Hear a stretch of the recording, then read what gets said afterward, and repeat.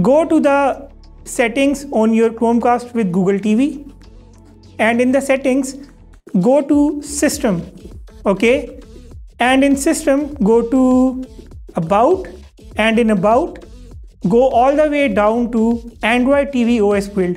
Now click the OK button on your remote for 7 times to enable developer options. You can see that it says you are now a developer. Alright.